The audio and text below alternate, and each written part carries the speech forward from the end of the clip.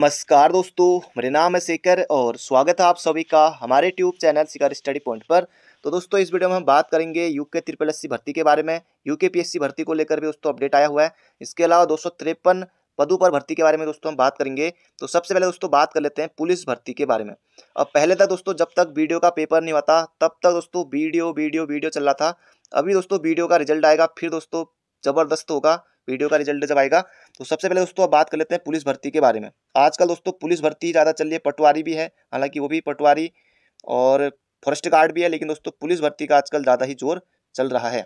बाकी आवेदन दोस्तों लगभग लगभग सभी अभ्यर्थियों ने सभी जगह लगभग लगभग किया हुआ है, ऐसा नहीं है कि किसी भी अभ्यर्थी ने जिनकी आयु सीमा है, योग्यता जो भी मांगी गई थी, सब कुछ है तो सभी ने लगभग लगभग सभी जगह आवेदन किया हुआ है। पंद्रह पदों के लिए आए दो लाख सत्तावन हज़ार आवेदन। फॉरेस्ट गार्ड भर्ती में आए थे, दो लाख चौवन हज़ार आवेदन। दोस्तों, ये दो भर्तियों को मिलाकर है। एक ही भर्ती का नहीं है। एक तो बारह सौ अठारह वाली, जो भर्ती थी, इससे पहले वाली, एक आठ सौ चौरानबे पदों वाली, जो भी इसका भी पेपर होगा। आयोग ने जारी किया सिलेबस दोस्तों। सिलेबस मैंने आपको पहले ही दे दिया है। लगभग लगभग एक ही सिलेबस दोस्तों। एसआई कांस्टेबल और इसके अलावा वीडियो पटवारी वीडियो का तो खैर हो चुका है। फॉरेस्ट गार्ड दोस्तों, लगभग लगभग एक ही सिलेबस इनका है। और यहाँ पर बताया गया कि फॉरेस्ट गार्ड भर्ती के लिए दो लाख चौवन हज़ार आवेदन आए थे। उसमें आयु सीमा इक्कीस से बयालीस वर्ष, दोस्तों, ये देखिए।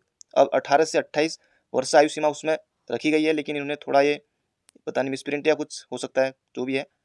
इक्कीस से लेकर बयालीस तक दोस्तों, ये नहीं है अठारह से लेकर अट्ठाईस साल है। कॉन्स्टेबल में अठारह से लेकर तेईस साल तक दोस्तों आयु सीमा थी। अगर दोस्तों आयु सीमा अगर अट्ठाईस हो जाती दोस्तों तो आंकड़ा फिर साढ़े तीन लाख पार भी कर सकता था। अब दोस्तों बात कर लेते हैं यहाँ पर यूके के बारे में। तो पीसीएस के दोस्तों तीन अप्रैल को परीक्षा होनी है तीन सौ अठारह पदों के लिए। तो एडमिट कार्ड दोस्तों जारी कर लिए हैं, अभी तक नहीं देखा है तो मैं पहले ही आपको अपडेट कर दिया था। उत्तराखंड इंजीनियरिंग सर्विस एग्ज़ाम तेईस से दोस्तों, तेईस से लेकर सत्ताईस अप्रैल, इसके बारे में दोस्तों मैंने आपको पहले ही जानकारी दे दी थी। अब दोस्तों आयोग की तरफ़ से यहाँ पर कहा गया है, आचार संहिता का अडंगा हटने के बाद अब तेज़ी से भर्तियों की प्रक्रिया शुरू होने जा रही है। एक और जहाँ उत्तराखंड लोक सेवा आयोग ने अपनी भर्ती प्रक्रियाओं में तेज़ी कर दी है तो दूसरी ओर उत्तराखंड अधीनस्थ सेवा चयन आयोग भी जल्दी ही कई भर्तियों के लिए रिज़ल्ट जारी करने वाला है। अधीनस्थ सेवा चयन आयोग कई भर्तियों के परिणाम आचार संहिता की वजह से जारी नहीं कर पा रहा था। इसके लिए आयोग ने चुनाव आयोग को भी पत्र भेजा था, लेकिन अनुमति नहीं मिली। आयोग के सचिव संतोष गुड़ ने बताया कि कई भर्तियों के परिणाम अटके हुए जल्दी ही आयोग उन्हें जारी करने जा रहा है। उन्होंने बताया कि कुछ एक पदों की छोटी भर्तियाँ भी निकाली जा रही हैं। हालाँकि अभी बोर्ड परीक्षाओं की वजह से भर्ती परीक्षा आयोजित कराना संभव न होगा। उधर उत्तराखंड लोक सेवा आयोग दोस्तों उत्तराखंड लोक सेवा के बारे में बता दिया दोस्तों।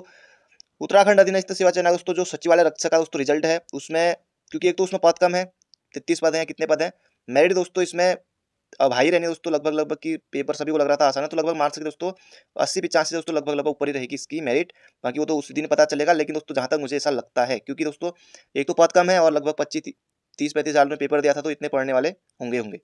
कनिष्ठ सहायक और वीडियो रिज़ल्ट। इनको लेकर बहुत ज़्यादा अभ्यर्थियों के सवाल कमेंट बॉक्स में आते रहते हैं, पूछते रहते हैं। दोस्तों, कनिष्ठ सहायक कनिष्ठ सहायक का रिज़ल्ट दोस्तों बाद में आएगा।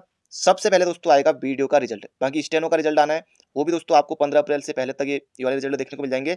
उसके बाद दोस्तों, पंद्रह मई से पहले तक वीडियो का रिज़ल्ट दोस्तों आपको हर हालत में देखने को मिल जाएगा। वीडियो का रिज़ल्ट पंद्रह या अप्रैल लास्ट में भी आ सकता है। पंद्रह मई से पहले दोस्तों सुनने में आ रहा है, पुख्ता जानकारी यही है कि पंद्रह मई से पहले तक दोस्तों रिज़ल्ट जारी हो जाएगा वीडियो का। उसके बाद दोस्तों कनिष्ठ साइक का आएगा पहली मेरिट दोस्तों जो लगेगी उसमें तो जहाँ जिसने भी एग्ज़ाम दिया दोस्तों, सभी की जिनके अच्छे नंबर हैं तो पहले में आएगा, बाकी वेटिंग लिस्ट में जिनके कम नंबर हैं, उनके लिए दोस्तों, हालाँकि कनिष्ठ सहायक में चार गुना अभ्यर्थियों को टाइपिंग के लिए बुलाया जाएगा तो उसमें दोस्तों आप मेरिट के बारे में यहाँ पर क्या ही बात करें तो आप बिल्कुल तैयार रहिए, ये रिज़ल्ट दोस्तों आपको देखने को मिल जाएँगे, यहाँ पर आयोग ने साफ़ बताया हुआ है। अब बात कर लेते दोस्तों, आयुर्वेद डॉक्टरों की भर्ती स्क्रीनिंग टेस्ट से होगी। उत्तराखंड के अस्पतालों में दो सौ तिरपन आयुर्वेदिक डॉक्टरों की भर्ती के लिए स्क्रीन टेस्ट होगा आवेदन ज़्यादा आने की स्थिति में सौ नंबर का टेस्ट कराने का निर्णय दोस्तों ये लिया गया है। अगर आपने दोस्तों ये भरा है तो दोस्तों इन सबकी भर्तियाँ यू के कराता है। चिकित्सा चयन बोर्ड की ओर से दोस्तों ये निर्णय यहाँ पर लिया गया है। तो दोस्तों ये थी आज की जानकारी, बाकी मिलते हैं बहुत जल्दी एक नई वीडियो में।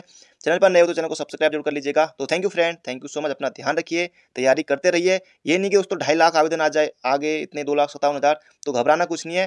पंद्रह इतने पद दोस्तों, इतने पदों पर जितने भी पद हैं फाइनल सिलेक्शन इतनों का ही होगा। बाकी आपको कोई भीड़ कॉम्पिटिशन घबराना नहीं है कि इतने आगे तो मेरा नहीं हो पाएगा, आपको सिर्फ़ अपनी तैयारी करनी है।